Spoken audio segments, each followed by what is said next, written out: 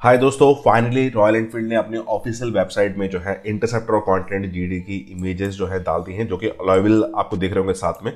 दोस्तों इस पर थोड़ा डिटेल बात करने वाले हैं बिकॉज़ बहुत लोगों को अभी भी डाउट है कि ये जो कलर्स ऑप्शन हैं ये जो फिक्स मॉडल आ रहा है तो क्या करंट मॉडल में भी अलॉयबल ऑप्शन दिया जाएगा नहीं जाए, दिया जाएगा? अलग से हम बाय कर सकते हैं नहीं कर सकते वो सारी डिटेलिंग बात करेंगे। अब दोस्तों इंटरसेप्टर में भी दो कलर ऑप्शन जो है दिए गए हैं और जीटी में भी दो कलर ऑप्शन दिए गए हैं। तो पहले इंटरसेप्टर का देख लेते हैं दोस्तों ये आप मॉडल देख रहे होंगे। तो यहाँ पे थोड़ा नीचे की तरफ़ आते हैं। अब ब्लैक इंजन जो आ ही रहा है, अब इसमें हाईलाइटिंग पॉइंट्स क्या क्या है? तो आप देखेंगे यहाँ पे कास्ट कास्ट रन के अलावेल मिल रहे हैं। साथ ही साथ यहाँ पर आपको जो हेडलाइट जो आपको सुपर मीटर मिलती है, वो सेम आपको सुपर मीटर मिल रही है। यूएसबी पोर्ट जो है, वो देखने को मिल रहा है। स्विचेस असेंबली जो प्रीमियम जो मीटियोर में देखने मिलती थी सुपर मीटियोर में भी आई हुई है।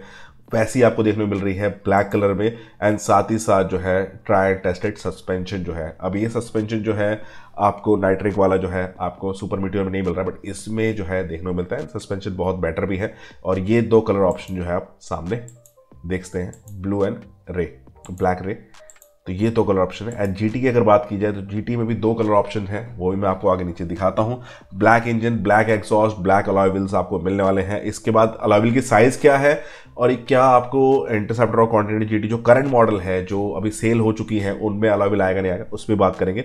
तो सेम वही चीज़ें हैं जो आप, मैंने आप पीछे दिखाया alloy wheel headlight USB port premium switches और आपको यहाँ पर जो है ट्राई एंड टेस्टेड सस्पेंशन ये ये सब, ये जो है, यही हाईलाइटिंग पॉइंट्स है और ग्रे एंड ब्लू का जो है, दो कलर ऑप्शन मिलने वाला है। तो यही है। एंड स्पेसिफिकेशन में अगर जाए, थोड़ा डिटेल में जाए तो दोस्तों आपको नीचे क्लियरली आपको दिखाई देगा कि यहाँ पर 18 इंच का ही जो है व्हील मिलने वाला है। यहाँ पर अलॉय व्हील का साइज़ देखते हैं। ये कास्टर्ड अलॉय है एंड 18 इंच का ही यहाँ पर आपको देखने को मिलेगा। बट इसके वजह से वेट जो है, वो इंक्रीज हो गया है। ठीक है? तो अब पहले जो है 204 के आसपास कुछ वेट था। अभी 217 केजी की ये जो बाइक है, वो हैवी हो चुकी है। तो ये चेंजेस भी आपको देखने को मिल रहा है।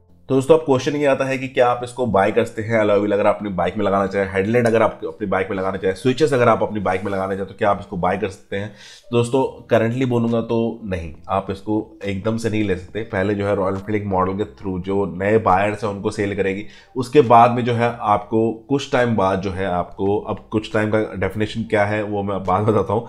अब कुछ टाइम के बाद जो है आप इसको बाय कर सकते हैं डेफिनेटली बाय कर सकते हैं। अब ये मार्च के एंडिंग के आसपास कहा जा रहा है मीडिया एंडिंग के आसपास। में जो ये मॉडल लॉन्च हो जाएगा। अब इसको B S six version two के दौरान जो है इसको कहा जा रहा है कि इसको लॉन्च कर दिया जाएगा, क्योंकि ऑलरेडी चेंजेस जो है ओबीडी में करने थे तो ये मॉडल जो है चेंजेस के साथ में आपको मिल जाएगा। तो ये चीज़ अच्छी है। अब अलॉयविल्स का ऐसा है कि पहले जो है सेलिंग साइड में जाएगा, उसके कुछ टाइम बाद जब इसका रिज़ल्ट बोलते हैं ना कि जो यूज़र्स पे जो है उनका कंप्लेन कैसे आ रही है मतलब कहते हैं सेकेंड लॉट में जो है आपको आपको इसका जो है, जो अलाविल का जो वर्जन है, वो करंट यूज़र के लिए भी मिल जाएगा। थोड़ा बहुत डिले जो है देखने मिलेगा बट गुड थिंग ये है कि अलाविल का ऑप्शन आ चुका है। एंड जो सालों से वेट कर रहे थे लोग, उनको जो है एक नया ऑप्शन जो है रॉयल एनफील्ड ने दिया है। एंड सुपर मीटियोर के लॉन्च के बाद में लोगों की एक्सपेक्टेशन ज़्यादा बढ़ गई थी बिकॉज़ सुपर मीटियोर भी सिक्स फिफ्टी सी के इंजन के साथ में आता है। एंड बहुत लोग वेट कर रहे थे कि ये आए। अब दोस्तों जैसे मैंने बताया था कि पहले जो है 18,000 के आसपास जो है प्राइस का डिफरेंस देखने मिलेगा। तो नया मॉडल जो है जिसमें कि कंप्लीट ब्लैक टच दे रखा हुआ है ना एंड बहुत सारे चेंजेस किए हुए हैं तो दोस्तों अगर इसकी प्राइसिंग की बात की जाए तो ये आपको approx twenty five to thirty thousand के आसपास जो है इसमें चेंजेस देखने मिलेंगे जिसमें अलॉयल भी चेंज है हेडलाइट भी चेंज है स्विचेस असेंबली भी चेंज है and new try and tested जो है सस्पेंशन भी है। तो ये सब चेंजेस के साथ में जो आपको थोड़ा कॉस्टली जो है ये बाइक पड़ने वाली है।